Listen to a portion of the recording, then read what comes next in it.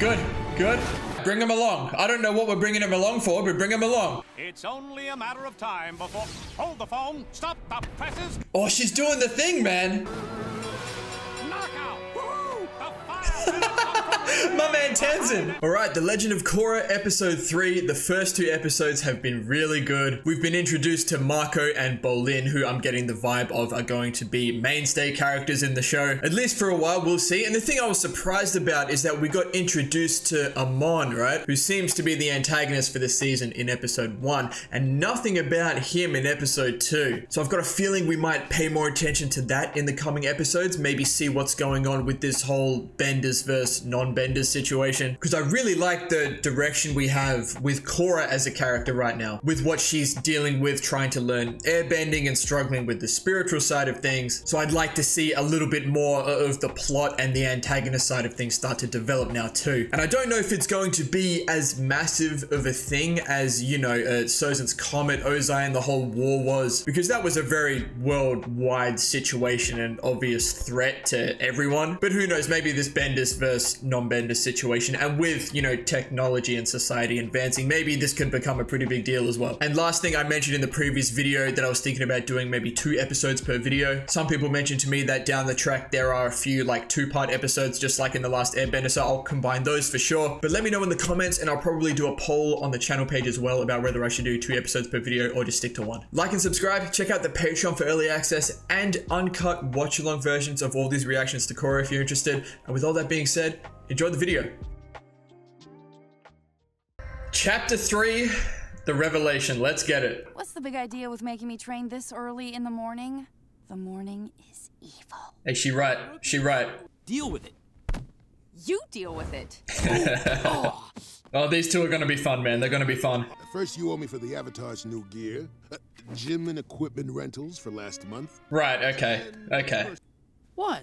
What has he got, man? It's like a, a, a fox raccoon? Fire ferrets need to ante up 30,000 yuans for the championship pot. 30,000 yuan? Yeah, you can see the situation they're in. I reckon Korra's gonna get them out of this somehow. You wouldn't happen to have a secret avatar bank account overflowing with gold, would you? I got oh, nothing. Oh, there is some Sokka in this guy, isn't there? I've always had people taking care of me. Then I wouldn't say hmm. nothing. Yeah, okay. I'm, I'm seeing the. Yeah, yeah. Ever since we lost our parents, we've been on our own. I'm so sorry. That's tragic. But not a situation I wasn't expecting. We need serious ideas. I was serious. Sorry, I'm just obsessed with Pabu. I wanna. Uh, like, he's the Momo. Right. Oh, is that. Was that Zuko? Oh, man. When I see statues, to me, it just means they're dead, man. I mean, I assumed, but I had hope. One of my favorite things about the last Seriously, Airbender was like Sokka and Momo had a like a little connection with each other. That's what this reminds me of. Hey, Bolin, is that you? Is this the same guy? Lightning Bolt Zolt is looking to hire some extra muscle. Oh, well, this is very well timed, isn't it? Mako told me to stay away from the triple threats. Yeah, the triple threats. yeah. Your brother ain't the boss of you.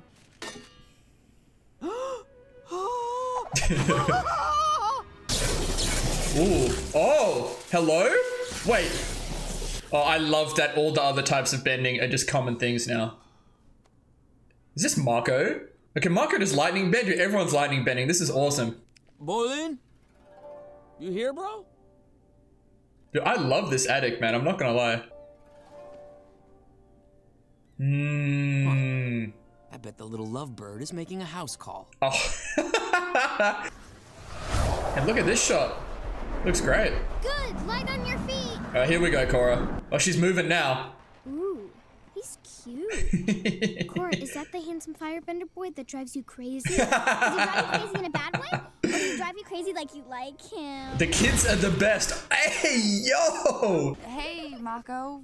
You seen Bolin? Nice to see you too. I could, uh, help you look for him. Nah, I got it. Hey, cool guy. Let me help you. We can take Naga. Yeah, good, good, good. You can see Mako, you know, really wants to do things on his own, and I'm sure he's probably used to it. Dude, look at this. Zu- I can't with the Zuko statue. You guys seen my brother around here today? Perhaps. My memory's a little. Oh my god, these kids are hustlers. Shady Shin showed up and flashed some serious cash. Boat took off with him in his hot rod. In his hot rod. The Red Monsoons, the Agni Kais. All the triads are muscling up for Oh, something real big. interesting. Now that's all you're getting at The me. Agni Kais, I love that. These are like all like gangs. That's probably a strong word, but that's what I'm getting from that. Why would Bolin get tangled up with? Oh, it's it's it's him, Pabu. That's Pabu. Oh, it's like a ferret. Homies? Yeah, good, good, good, good. We gotta hurry. Gives Appa and Momo energy. I love it. We better be cautious. oh, something going on here. Bolin, you in here? I wonder if this was a trap. No, okay.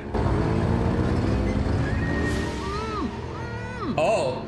Oh, this looks like um Amon, his group maybe. Oh, we're chasing people through big cities like this. It's such a different vibe. Oh yeah.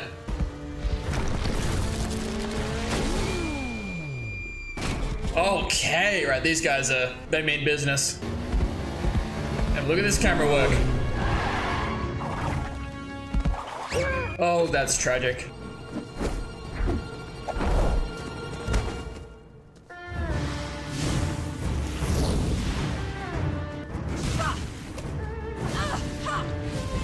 Hmm.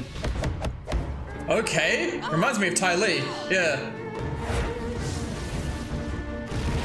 Th- these kind of moves, though, remind me of Zuko.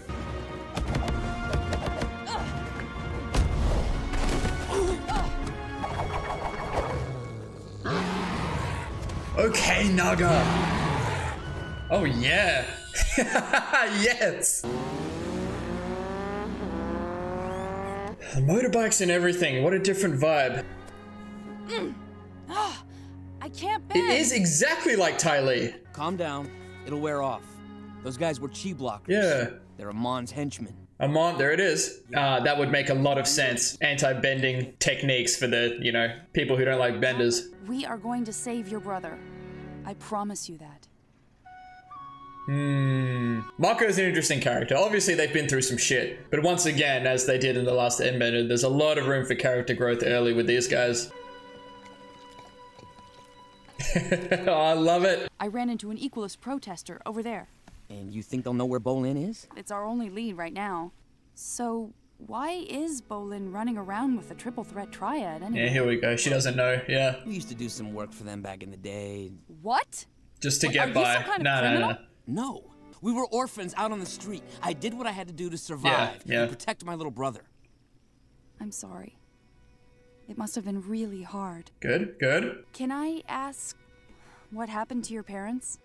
They were mugged by a firebender.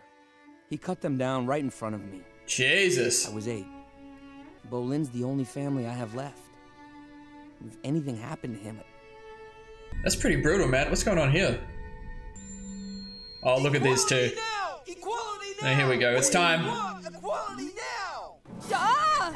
Uh, uh, Take back your city!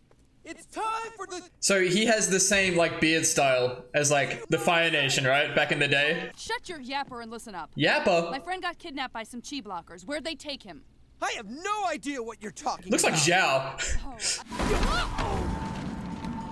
Oh, here we go. Dude, I love that poster of Amon. I'm not gonna lie. They make him look really cool. witness the revelation tonight, 9 o'clock. What's this oh, revelation? Oh, this Nothing that concerns this likes might be you something. I immediately went to AOT Declaration of War. I am very interested in this. Why didn't the Equalists put a location on these? Probably because they don't want just anyone waltzing into their big revelation. I bet the information is hidden on here. Yeah, that's what I'm saying. at the backs. There's four different images. Oh, it's a big map? Bingo. That must be where it's going down. I'm like nervous and excited and I don't know, man. What's gonna happen here? What are you doing? We'll attract less attention this way. True, true though. No one gets in without an invitation. You mean this? Here we go. The revelation is upon us, my brother and sister. I like his voice actor. This could be very I knew A lot interesting. of people hated benders. Oh boy. so many in one place. Okay. This is why I said in episode one, I didn't know how big of a thing this was, but uh, I think they're gonna put some emphasis on that here. Your hero, Amon! Ooh, that's his main man in the back. I see him. He's got the swords. My quest for equality began many years ago. My family and I lived on a small farm. We weren't rich, and none of us were benders. Yep. This made us very easy targets for the firebender who extorted my father. That firebender took my family from me. Hmm. He took my face. I mean, I think I see what they're doing here. Hide behind a mask ever since. Similarities to Mako and Zuko, The obviously. Avatar has recently arrived in Republic City. Dude, how did it get like this tell though? you that bending brings balance to the world. But she is wrong. It has been the cause of every war in every era. Hmm. But that is about to change. Are they gonna like bring out some benders? The spirits have acted as guardians of our world, and they have spoken to me. They say the Avatar has failed humanity. Where's the proof? Show me the receipts. They have granted me a power that will make equality a reality. The power. to Oh take my a god, this is what I thought he was gonna say. Permanently. That's impossible. There's no No, way. it's not impossible. But like, Now, how could this guy do it? Please welcome Lightning. I mean, they, they, they had the li- there was a lion turtle on one of the cars, right? In episode one. We need to be smart about this. Then come up with a game plan, team captain. I will give Zolt the chance to fight to keep his bending. It's like an Agni Kai. You're gonna regret doing that, pal. Yep, lightning bending's just common as hell now. Jesus.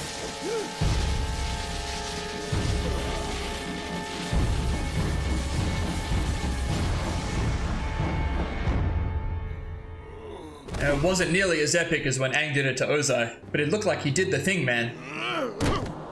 What did you do to me? Your firebending is gone. Forever. I've, I've got so many questions, man.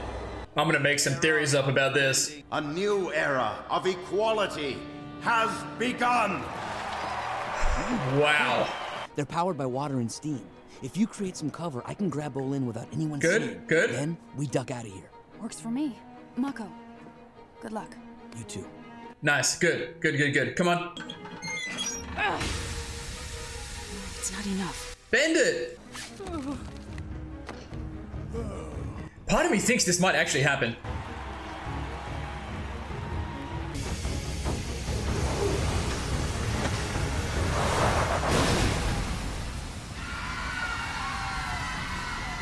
Okay, no, I think we're good. I think we're good. Here we go, Mako. Bolin, you alright? Yes, Mako! I love you! Bro, and this reminds me of Zaun, man. I get so many arcane vibes from this show. I love it. Oh, this is the guy. Now, I imagine he's not a bender, but I don't know. Like, if he's in this group. Yeah, he's got like a power pack on or something.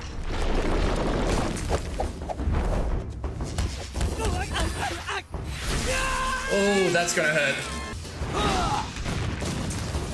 Now, now, can we redirect it? The lightning.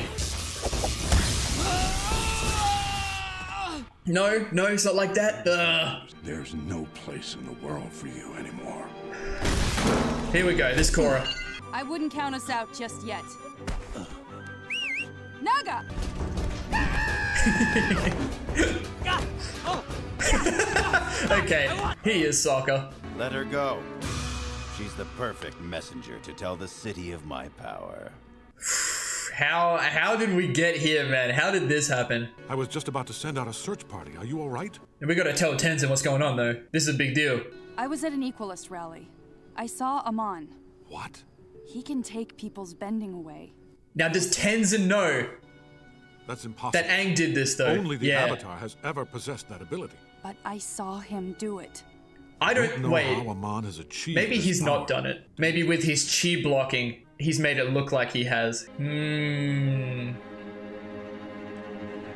Dude, that was That's exactly what I wanted from this episode, man. I was like, give me more of Amon. Let me see what's going on. Oh, that is so interesting. All right, so you can understand when I say the only thing I want to talk about is this whole, you, you know, equalist Amon situation. But I'll quickly draw attention to some of the character stuff before that. So currently, it seems Mako has significantly more depth to his character than Bolin does. And I guess now that I look back at it, I, I guess Katara had more depth than Sokka did as well. Again, I'm not necessarily trying to compare. It's just the fact that Bolin and Sokka are very similar characters. So they lost their parents. Uh, Mako said when he was eight. Someone did comment all their ages for me. And I love that our characters here are a little bit older than our main characters were in the last Airbender. So Bolin's a couple years younger, right? But that's tragic that Mako like saw that happen in front of him. But like I said during the episode, it's not a situation that really surprised me, given the fact that, you know, they were living in the attic of the arena. But of course, the guy who's running the, the tournament, you know, he's just, you know, exploiting them for money. Of course, Bolin gets caught up in this situation. You know, they throw a bit of money at him. He's jumped right into it. And you can see how badly Mako wants to get Bolin back. Lots of emphasis on how much Mako really cares for Bolin. That's his only family, you know? And you can see how for most of their lives, they've had to do things by themselves. And Mako sees himself as the protective one. He has to protect his younger sibling. So he's used to doing things by himself. That's why he was reluctant to have Korra come along. But I'm glad that Korra was persistent and made sure she went along. You can already see, like, these two are going to have a great dynamic. They're already setting them up to have a little bit of a thing with each other develop potentially. Dude, Tenzin's kids, uh, they, they, they might just carry the show. I hope they're in the show, like, like the whole way through. Like, they, they are killing it. Okay, so there's two schools of thought here. There's, can Amon actually take bending away from people for good? Or like I was saying at the end of the episode, is he just potentially making it look like he can to get his message across? So for argument's sake, let's say he can do it. How would he have gotten to this? It seems to be common knowledge that Aang took Ozai's firebending away. I, I wouldn't imagine how that wouldn't be common knowledge. Obviously, Tenzin knows about it because he is Aang's son, but emphasis on the fact that Aang's been the only one to do it. So then it's like, okay, how in the world would this guy of all people, you know, he's saying, you know, the spirits have spoken to him and given him this power. You know, we saw that lion turtle symbol, but that was on a, a, a triple threat triad car, right? I don't know if that links to Amon at all. I don't think it does, considering they just kidnapped a bunch of them. And the other connection I was making in the moment is that when um, Amon was talking about, uh, like his, uh, let me find exactly what he says, something about his parents and a firebender. It reminded me exactly of Mako's situation as well. Okay, he says the firebender who extorted his father, and then his father confronted him, and the firebender took his family and took his face. And he's got the mask on, so you know it's believable. Like you can imagine, his face is probably burnt. But but this is like what I'm saying with the spirit stuff, man. Like, where are the receipts? Did this actually happen? Is this all just a front? But then, like, what's his actual motive? But also, um, when you think of uh, people losing faces, you think of Koh, right? But I don't know if that applies to the situation. But I was thinking about when he said, um, the spirits have spoken to me. I was like, man, I reckon the only spirit that's speaking to him is Koh, and that's a big part of me. I think I just want Koh to come back in the show because I think Koh was so cool, so creepy, but a really cool concept. That all might be nothing though. This is just where my head's going. But through all of that, you can see why Amon is doing this, right? He lost his family to a bender, and obviously there are a lot of people, and this is only in Republic City, we're not even talking about the whole world, that feel the same way against benders, right? I imagine the more society advanced, the more there was a class division. And look, it is what it is. That's just what happens in the world. It's such a shame, but, but it's just what happens. And there's a nice contrast between, you know, the Avatar is meant to bring balance to the world by mastering, you know, all of the elements but Amon is saying I'm trying to bring in a new balance where no one can bend. This is the syndrome stuff from, from The Incredibles. If everyone's super, like no one will be, but it's like the opposite of that, right? Like if there are no benders, you know, then they don't have this class division. But but here's the thing with, with humanity, man. They'll just find something else. There'll be some other sort of class division. But the fact that Amon, like he seems to have a pretty significant following and situation going on here. So like how did he get to this point? It's all really interesting to think about. But, but this is what I love when shows do this early. They give you so much to think about, so many questions. So now on the other hand, let's say, like I was saying, he's using the chi blocking. Lots of emphasis on that in this episode, which I really like. And I love the nod to just how common metal bending, lightning bending, now chi blocking is. All of these things that were very niche in the last Airbender, only a select few people were doing them. They're just such common things now. I think that's really cool. And there were a few more nods to um how sheltered Korra's been, right? Like it didn't seem like she had any knowledge of chi blocking. She was very shook when it happened to her, but Marco was like, no, it'll wear off. This is just a thing that happens. And also when she was saying to the brothers, you know, she always had people looking out for her and she was taken care of. Came across in a bad way. She didn't mean it like that. You can see they've really kept her away. And I think there's a lot more to that that I'm sure will become clear later on about why Aang wanted it this way. We'll see, we'll see. It's just more things to think about. But um, so the three guys that Amon potentially performed the bending removal on. I imagine, I, I, might go back and watch the first fight. I imagine the reason he says they have a chance to fight is so he can perform the chi blocking potentially. Let me look at that because this could debunk the whole theory if he doesn't even do any of that. It's not like he hits him an awful amount, man. He does grab him a little bit, but it was not nearly as apparent as when those other guys on the motorbikes were taking a Korra's bending away. I don't know, we'll stay open-minded, but if that's all he's done, he's blocked these three guys' chi to make it look like he's taken their bending away. You know, he's shown all these people that he can do this thing, and now Korra's under the impression that he can take people's bending away. Now that she's told Tenzin, this is just gonna, you know, go everywhere, I imagine, this news, which is exactly what Amon wants. And here's the thing, in episode one, Amon was saying, okay, so the Avatar is here like already, I think we're gonna have to speed things up, something like that. Maybe he knew Korra would find a way to be here, and this is exactly what he wanted. Maybe even as far as like getting Bolin here, like, like maybe it was all planned, man. Because Amon did say, you know, if the Avatar was here, she would say it's all about balance, this, that, and the other. Almost like he was potentially insinuating that he wanted Korra to be there. I don't know. I really could be reading too much into this, but like, it's a lot of fun. I'm not gonna lie. And then he could just like, you know, dispose of these three benders or lock them up or something, and then people would never see them and never know that he was only pretending to take their bending away.